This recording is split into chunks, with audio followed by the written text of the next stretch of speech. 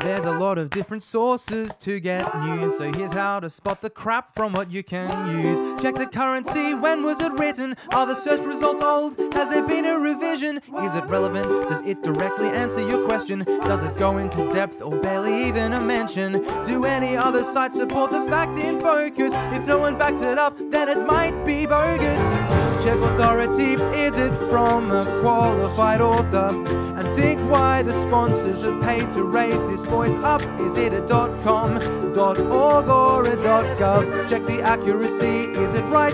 Is it properly written? Third person or me and I are reliable sources quoted. Impartial or filled with emotion?